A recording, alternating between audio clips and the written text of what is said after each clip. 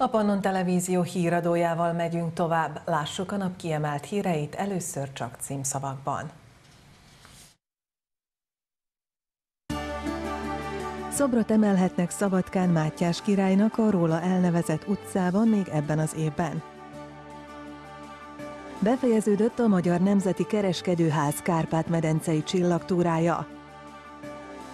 Holnaptól vörös riasztás van érvényben Szerbiában. A külföldről hazatérő magyarországi TB jogviszony nélküli magyar családok is kaphatnak családi otthonteremtési kedvezményt.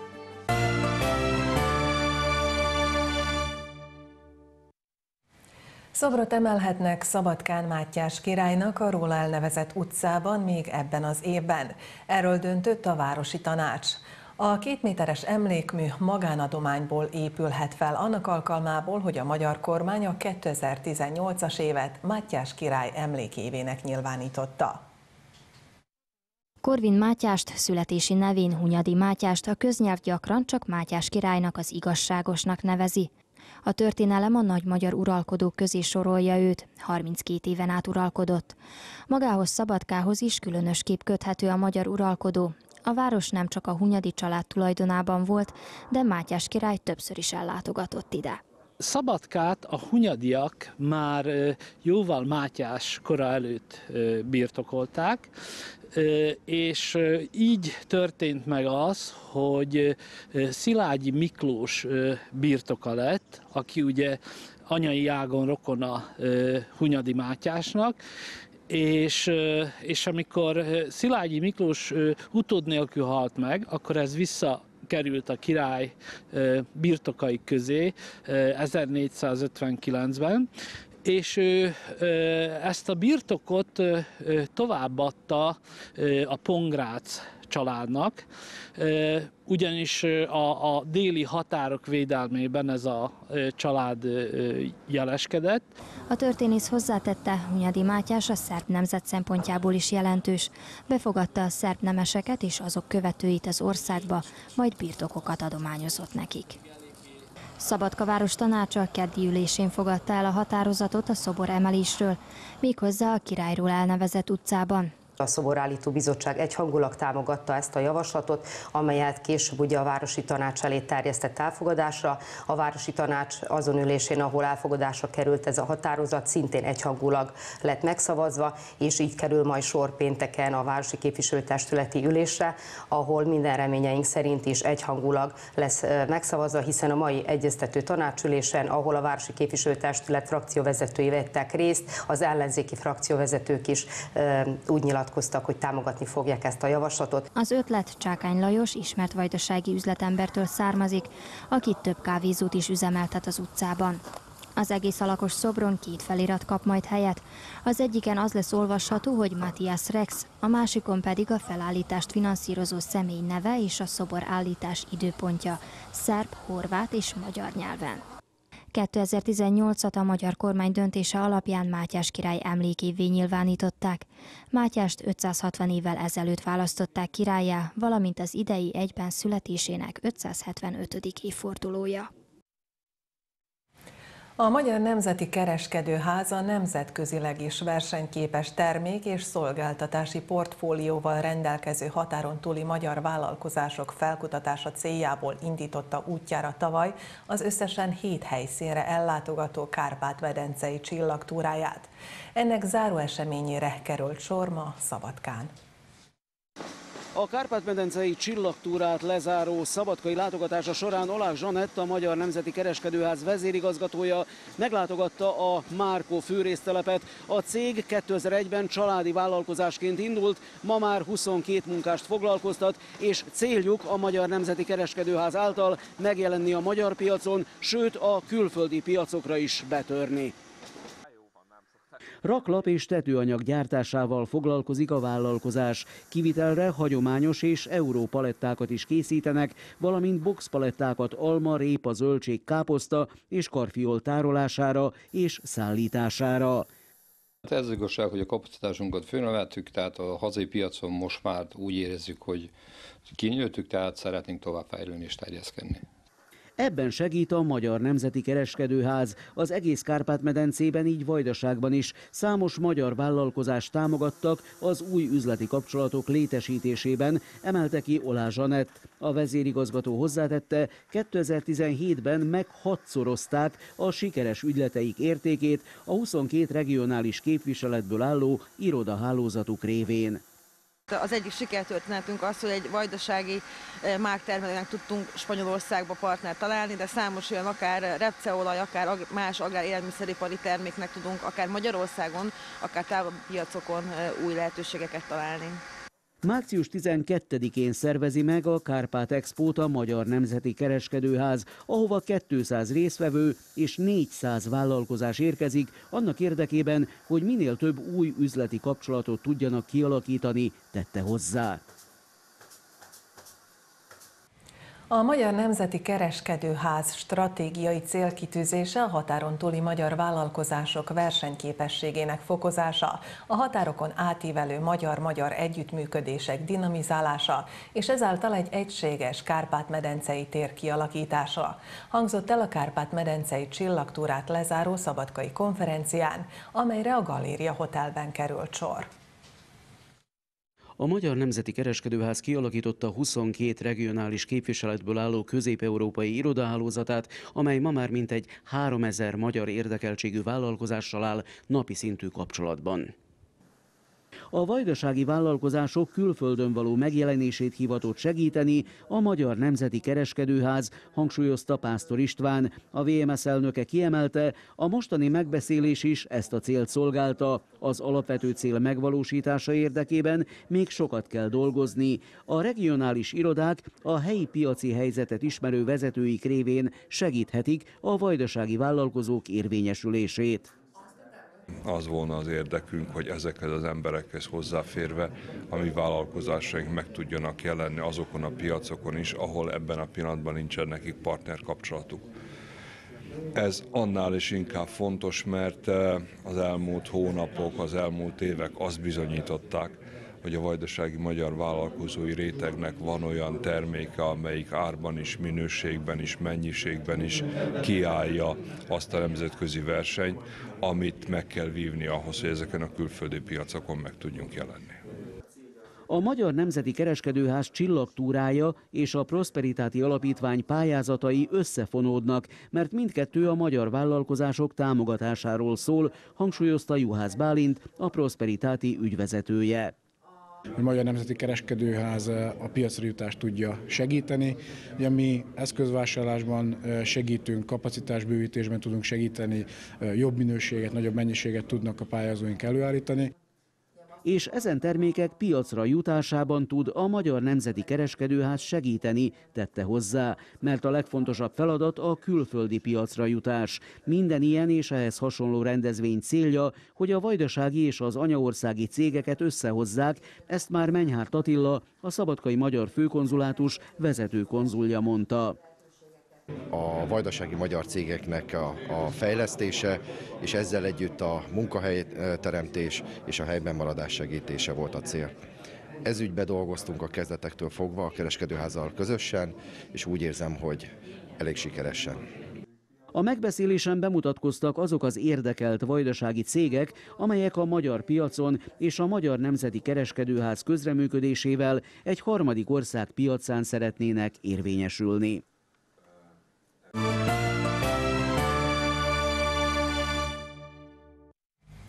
Három személyt tartóztatott le a rendőrség, akik a gyanú szerint február 12-én olyan súlyosan bántalmaztak egy 52 éves magyar csernye környéki férfit, hogy a helyszínen belehalt a sérüléseibe. A gyanú szerint volt egy negyedik elkövető is, akit intenzíven keres még a rendőrség. Holnaptól vörös riasztást vezetnek be Szerbiában az extrém fagy miatt. Ma még a sárga figyelmeztetés van érvényben az ország nagy részén, így Bácskában, Bánátban, Szerémségben, Belgrádban, továbbá a keleti, a délkeleti és a délnyugati országrészben, valamint Koszovóban. Csütörtöktől azonban a vörös riasztás lép érvénybe, mert különösen hideg várható.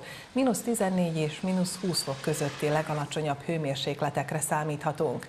Pénteken már nem hó, hanem eső hullik, ami a kemény hideg miatt meg fog fagyni. A jeges utak veszélyesen csúszósak lesznek. A Szerbiai Automotoros Szövetség arra hívja fel a figyelmet, hogy csak az induljon útnak, akinek feltétlenül szükséges, és csak akkor, ha van megfelelő téli felszerelése. Már ketten haltak meg Szerbiában a szélsőséges időjárás és a kemény fagyok miatt. Az egyik áldozatra Járesnik közelében találtak rá. A 49 éves férfi egy út mellett feküdt és vélhetően megfagyott. Korábban a körzethez tartozó Malosiste nevű faluban egy idős helybeli fagyott meg, akinek a falu határában lévő útnál találták meg a holttestét. A 75 éves VM demenciában szenvedett, feltehetően nem talált haza akár csak egész Vajdaságban, Újvidéken is folyamatosan havazik. Hétfő óta mintegy 80 jármű és 250 munkás tisztítja szinte megállás nélkül az újvidéki utakat. Az extrém időjárás egyelőre nem okozott különösebb gondokat, ám a valódi kihívások csak ezután következnek. 5-10 cm-es hó fette szerda reggel Újvidék utcáit. A helyiek örülnek a hónak, és szerintük az utakat is rendesen tisztítják a városban. Radujem se snegu, malo je teško za hodanje, ali je super i za decu i za nas. Baš je pozitivna atmosfera. Mm, ha i radujem se i ne, zbog bolesti to ne radujem se, a ovako putevi su dosta čisti, mislim, gledano na sneg i to kako je tako. Pa očišćeni su dosta prilično, jučer su bili haos, ali danas su dobri. A városban eddig a tömegközlekedéssel sem voltak különösebb gondok, a buszok időnként ugyan lassabban tudtak haladni, de komolyabb késésekre nem került sor. A járatok a menetrend szerint indultak. Autobuski saobraćaj se odvijati u skladu sa vremenskim prilikama. Mi očekujemo i mi smo u stalnoj koordinaciji sa putarima i očekujemo da kao i prethodnih dana neće biti problema i da će saobraćaj redovno funkcionisati i na gradskim i na prigradskim linijama. Az utak tisztítása ugyan nem volt problémamentes, de sikerült őket olyan tempóban tisztítani, hogy a közlekedésben ne alakuljanak ki komolyabb fennakadások, mondták el stábunknak az újvidéki út közvállalatnál. Hétfő óta a munkások mintegy 2000 tonna sót szórtak szét az utakon, és jelenleg is intenzíven dolgoznak. Problem će biti tokom noći kad temperature sada budu pali ispod, zaista ispod 10 stepeni kad budemo imali zaista problem sa pravim zaleđavanjem gde, se gde SO nema više nikakvu funkciju ovaj, tada znači moramo obratiti pažnju kao sami vozači da razmišljaju zaista da nema više ovaj kočenja naglog, dovoljno distance da drže između dva vozila da ne bi došlo do neželjenih posledica. Az erős és intenzív eső lemossa a sót az utakról, ezért az út tisztítók hatékonysága is csökken, illetve lelassul ilyen esetekben. A várható jégeső idején a közvállalat dolgozói a prioritást élvező utakra fókuszálnak majd, és mindenek előtt azokat fogják a lehető leghatékonyabb módon tisztítani, emelte ki a téli szolgálat vezetője. Az extrém hideg időjárás a legnagyobb veszély talán az egyedül élő idősebb emberekre jelenti. A falvakban, tanyákon élőket vajdaságban falugonnokok látogatják. Most a tartósan fagyos napokban tüzelőt készítenek nekik, bevásárolnak és a havat is ellapátolják. Reggel indult meg a nagy hóban a kelebiai falugonnak Takács Irén. Mlénacek Margit nem ismer belegondolni, mi lenne velük, ha nem tudnák igénybe venni a szolgáltatást. Férjem vak, én mondhatom, hogy majdnem nyomorék, mert bot nélkül, meg nélküle nem bírok menni. És család dolgozik, estig nincsenek otthon, nekünk nincs, aki hozzon. Itt nincs szomszéd, aki van, azok is el vannak foglalva, nekünk csak az irénke van. És bármikor szólhatunk neki, ő megoldja. Második megálló a 70 éves Hegedűs Teréz, aki két évvel ezelőtt érezte úgy, hogy szüksége van a segítségre. Most már több mint két éve nem kerékpár, azok leástam a kerékpárról, és én nem is tudtam, hogy akkor már az Irénke dolgozik. És a szomszédjaink ott voltak, és Olyan jóba voltunk meg minden, és öccse mondta, hogy Teri néni hazaviszem. A mostani fagyhullámba kifejezetten nagy szükség van a falu gondnokok munkájára. Szeretnék nekik segíteni, és nagyon is sokat segítek nekik. 33 felhasználóm van, akihez el kell, hogy jussak, mikor ők kérik. Ha amikor nem kell menni hozzájuk, akkor én megyek meglátogatni őket, de nagyon sokszor egész nap dolgozok. A falugondokoknak munkába állás előtt számos képzésen kellett részt venniük. A közösségek ajánlhattak embert, és hát mind a, ez a 20 ember, aki most a munkatársunk, nagyon szerintem nagyon jó választást tudtunk csinálni, és akkor ők képzéseket kaptak. Mi úgy hívjuk, hogy pszichoszociális képzést kaptak, és egészségügyi képzést, utána pedig egy jogi képzésben részesültek. 2015 óta mintegy 20 falugonnak csak nem 600 rászorulónak segít minden hónapban. A szolgálat működését Magyarország kormánya támogatja. Éjszakai melegedőt hoztak létre Magyar Kanizsán a rendkívüli hideg időre való tekintettel mindazoknak, akik valamilyen okból nem tudnak éjszaka meleg helyen tartózkodni. Az ideiglenes melegedőt a községi tűzoltó otthonban alakították ki. Magyar Kanizsa község katasztrófa védelmi törzskara a rendkívüli hideg időjárás miatt döntött úgy, hogy ideiglenes befogadó állomást hoznak létre a szociálisan rászorulóknak. A melegedő este 8-tól reggel 8-ig lesz nyitva. Minden szociális intézmény, minden civil szervezet, illetve minden falugazda, így az egészségház is, aki az idős személyekkel foglalkozik, illetve a mozgássérültekkel ezen a héten, illetve a jövő héten még a mínusz hőmérsékletek tartanak, nagyobb figyelmet fog fordítani rájuk, és gondoskodni fog róluk. Az éjszakai melegedő a községi tűzoltó otthonban van. Addig működik, amíg az éjszakai hőmérséklet fagypont alatt marad. Ezekben a hidegekben a, az emberek, hogyha nincsenek tartósan fűtött helyeken, akkor nagyon könnyen kihűlnek, ha nincsen nekik megfelelő ruházatuk. Éjszaka nyilván nem mozognak úgy az emberek, vérkeringésük nem olyan könnyen ki tudnak hűlni, és hát nyilván nem akarunk rosszat az embereknek, aztán inkább segítünk rajtuk, hát ez a munkánk. A melegedőben jelenleg négy ágy várja a rászorulókat, de szükség szerint bővíthető. Egész Európában gondot okoz a farkasordító hideg. A keleti szörnynek nevezett rendkívüli időjárás péntek óta legkevesebb 24 halálos áldozatot követelt a kontinensen. Németországban egyes helyeken mínusz 23, a legmagasabb német hegycsúcsokon pedig közel mínusz 30 fokot mértek. Bulgária déli régióiban az erős havazások és a viharos északkeleti szelek miatt a hatóságok a legmagasabb szintű riasztást adták ki a napokban. Moszkvában a hét eleje óta közel mínusz 20 fokot lehet mérni, ami az idei tél rekordjának számít az orosz fővárosban. Horvátországban egész településeket vágott el a külvilágtól a szüntelen havazás. A hadsereg a Vörös Kereszt önkénteseivel együtt próbál utat vágni az elszigetelt családi házak felé.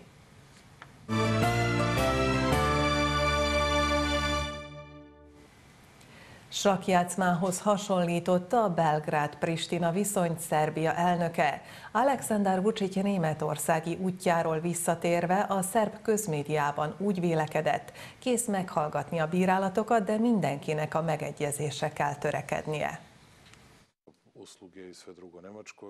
Felkelhetne az asztaltól otthagyva a saktáblát, folytatta a hasonlatot a szerb elnök a közmédia híradójának stúdiójában, de hozzáfűzte a megdermet helyzet nem oldana meg semmit, nem kapja vissza sem a királynőt, sem pedig a bástyát. Megkerülhetetlen kompromisszumról beszél már egy jó ideje. Ja sam rekao, ja sam spreman da čujem svaku reč kritike, ali ja moram da kažem šta mislim po tom pitanju i Ja zaista mislim da je važno da postignemo kompromisno rešenje. Ukoliko ga ne budemo postigli, imat ćemo teške političke i ekonomske posljedice u budućnosti. Azonban mégsem ilyen borulátó a szerb elnök. Rövidesen egy újabb nagy beruházás várható Németországból. Autógyártó óriás cég érkezhet, mondta a műsorvezető kíváncsiskodására válaszolva Aleksandar Vucic, óckodva a konkrétumoktól. Nešto imamo o čemu ne smem da govorim i nadam se i ćutim dok to, jer je to dogovor sa investitorom, dakle kada oni budu završili sve pripreme i kada sve bude potpuno jasno, onda ću izaći pred javnost i sa ogromnom radošću saopštiti šta je to što mislim. To je za jedno mesto uh, u centralnoj Srbiji. To će biti za jedan veliki, veliki region Srbije, rekao bih, ne gotovo spas, već budućnost i velika budućnost i ogromna nada. Januárban 4,2%-os volt a növekedés, húzta alá a gazdaságról beszélve a szerb államfő. Ez azt jelenti, hogy hamarabb és minden eddiginél nagyobb mértékben emelhetik a közféle béreit és a nyugdíjakat. Szerbia államfője holnap Szófiába utazik. A nyugat-balkáni vezetők találkozóján vesz részt, amelyre Jean-Claude Juncker, az Európai Bizottság elnöke, és Bojko Borisov bolgár miniszterelnök hívta meg. A megbeszélésen jelen lesz még Federica Mogherini, az EU kül- és biztonságpolitikai főképviselője, valamint Johannes Hahn, Európai Uniós bővítési biztos is. Nézzük, mi lesz a híradó folytatásában. A Vajdasági Magyar Diák Szövetség csatlakozik a Minority Pack nemzeti kisebbségvédelmi kezdeményezés aláírás gyűjtéséhez. Sorbanállás nélkül hitelesítik 420 ezer lakos egészségügyi kártyáját. Magyarországon egyszerűbb és gyorsabb lesz a családi otthonteremtési kedvezmény. A csok igénylése március 15-től és még több család számára lesz elérhető, jelentette be a Magyar Emberi Erőforrások Minisztériuma család és ifjúságügyért is felelős államtitkára budapesti sajtótájékoztatóján. Novák Katalin elmondta, egyebek mellett bevezetik a nyilatkozati elvet, amelynek az a lényege, hogy az igénylőknek nem kell minden dokumentumot beszerezniük. Elég lesz büntetőjogi felelősségük tudatában nyilatkozatot tenniük. Az ügyintézési határidők rövidülnek, a már megkezdett otthonbővítésekre is lehet támogatást kérni. Továbbá külföldről hazatérő magyarországi TB jogviszony nélküli magyar családok is kaphatnak csokkot. A Vajdasági Magyar Diák Szövetség csatlakozik a Minority Pack nemzeti kisebbségvédelmi kezdeményezés aláírás gyűjtéséhez. A polgári kezdeményezés célja, hogy az Európai Unió jogi lépéseket tegyen a nemzeti és nyelvi kisebbségekhez tartozó emberek védelmének javítása érdekében.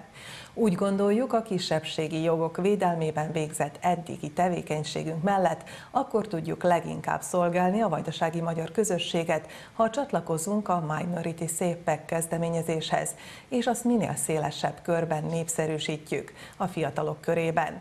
Tájékoztatjuk őket arról, hogy miért fontos maga a kezdeményezés, miben segíthet a számukra, Informálunk az aláírási lehetőségekről, áll egyebek között a Vamadis szerkesztőségünkhöz eljutatott közleményében. Automatikusan sorbanállás nélkül hitelesítik 420 ezer lakos egészségügyi kártyáját. Ez az egyéni vállalkozókra, a mezőgazdasági termelőkre, valamint az ő családjuk tagjaira vonatkozik. Az automatikus hitelesítés ma kezdődik számukra. A szerb kormány információs technológiai és elektronikus közigazgatási irodájának igazgatója elmondta, ezzel teljessé válik az automatikus kártyahitelesítés az országban. Az átállás tavaly októberben kezdődött, előnye, hogy nem kell hosszú órákat sorban állni a tolóablakoknál. Oktatási vásárt tartanak Újvidéken március 8-a és 10-e között az Újvidéki Vásár épületében. Az útmutató nevű kiállításon számos hazai és külföldi középiskola és egyetem mutatkozik be, hogy a diákok minél szélesebb körben informálódhassanak a továbbtanulási lehetőségekről. A háromnapos rendezvényen egyebek között a PISA felmérések részleteivel, az egészséges életmóddal, valamint egy középiskolásoknak szánt tájékoztató jellegű weboldal működésével is megismerkedhetnek majd a látogatók. A vásáron szakmai beszélgetéseket is tartanak majd. A tartományi oktatási titkárság idén mintegy 2 millió 800 ezer dinárt fordított arra, hogy a vajdaság egyéb településein élő középiskolások is meglátogathassák a vásárt. Azt szeretnénk, hogy a, az útmutató tehát az oktatási vásár az idén is ugyanolyan sikeres legyen, mint ahogyan az tavaly volt és az elmúlt években volt, és hogy minden középiskolás, általános iskolás, aki tájékozódni szeretne a jövőről, a pályaválasztási döntésekkor, azt, olyan információkat kapjon itt az újvidéki vásáron, amely ezt lehetővé teszi. Az úgynevezett fekete pontok megoldásáról tárgyalt ma Újvidéken Igor Mirovics, tartományi kormányelnök és Gorán Triván, környezetvédelmi miniszter. A projekt megvalósítása koordinálna az újvidéki hulladék lerakó helyreállítását, a regionális és községi hulladék lerakó kérdését és a szennyvíz okozta problémákat. A tartományi kormány és az illetékes tartományi titkárság a Környezetvédelmi Minisztériummal koordináltan együttműködnének a vajdasági környezetvédelmi kérdésekben a jövőben. A gyakorlatban mindez úgy működne, hogy mind a 45 vajdasági községben feltérképeznék az ökológiai problémákat és a környezetvédelmi fekete pontokat, és közösen finanszíroznák az azokat megszüntető projektum dokumentációkat, mondta találkozó után a tartományi kormányelnök. A fiatalokról, valamint a romákról szóló akciótervet is elfogadta február 13-i ülésén az Entai Községi Képviselőtestület. Ma sajtótájékoztatón mutatták be az említett programokat. Zentának régóta nem volt már fiatalokról szóló helyi akcióterve, emelte ki a sajtótájékoztatón Popov Danilo a községi tanács sporttal és ifjúsággal megbízott tagja. Hozzátette, az akcióterv a 15 és a 30 éves korosztályt érinti, és három stratégiai célt tűztek ki maguk elé, amelyet 2020-ig szeretnének megvalósítani. Ezek pedig a helyi erőforrások fejlődése, a fiataloknak szóló szolgáltatások, valamint az ifjúsági politika fejlesztése. Mislimo da ćemo zaista uraditi dosta stvari, mnogo edukacija, informacija, i dati podršku akcijama mladih koji ima i da pokušamo da ih aktiviramo e, i da uradimo nešto da bude bolje njima sutra. A fiatalokról szóló terv mellett a február 13-ai ülésen elfogadták a romákról szóló helyi akciótervet is, amely a 2017-től 2025-ig terjedő időszakra szóló intézkedéseket foglalja magába. Az akcióterv olyan irányelveket követ, amelyek segítségével a roma közösség aktívabban tud részt venni a társadalmi közösségi életben. Az akciótervet meghatározott témakörökre bontották le.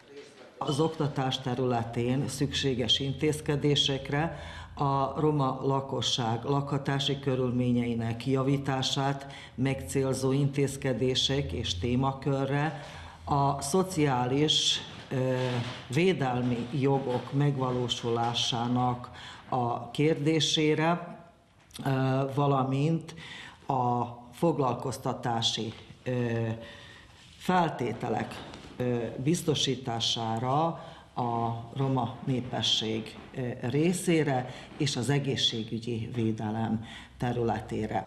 A két akcióterv elfogadása több európai és nemzetközi irányelv alapján került elfogadásra. Cél az, hogy mind a roma közösség, mind pedig az ifjúság nagyobb figyelmet kapjon a községben.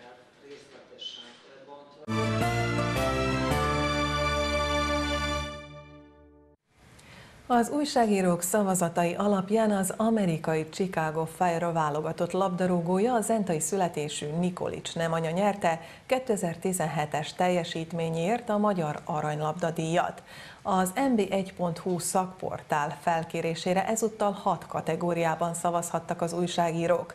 A Magyar Aranylabda díjat az mb1.hu alapítója és örökös főszerkesztője, a hat évvel ezelőtt elhunyt Imre Mátyás 1998-ban hívta életre, vagyis az idei volt a 20. alkalom, amikor kiosztották. Nikolics nem a 12. győztes, miután vannak, akik többször is megnyerték, a legtöbbször Király Gábor, öt alkalommal. Eddig tartott a híradó. A legfontosabb hírek jönnek még egyszer röviden. Szobrot emelhetnek Szabadkán Mátyás királynak a róla elnevezett utcában még ebben az évben.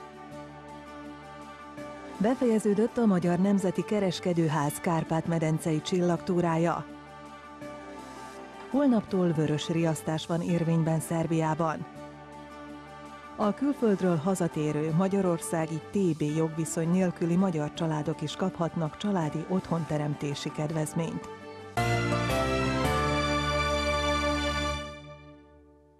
Köszönöm figyelmüket! A panonertv.com-ra kattintva még több friss hírt és információt olvashatnak, és a riportjainkat is visszanézhetik. Maradjanak velünk, ugyanis most következik a Népzene és Világzene című műsorunk, benne Csizmadia Annával. Holnap a Pannon Rádióban ismét a reggelisekkel ébredhetnek, de lesz presszó és óránkénti hírösszefoglalók is. A Szabadkai Magyar Rádió napindítójában szó lesz egyebek között arról, hogy megoldódhat a bajmoki állattemető problémája. A Pannon Televízióban holnap délelőtt 10-től élőben közvetítjük Topolyáról a 2018 a Külhoni Magyar Családok éve Kárpát-medencei körútjának nyitó rendezvényét. Tartsanak velünk a továbbiakban is. Na viszontlátásra!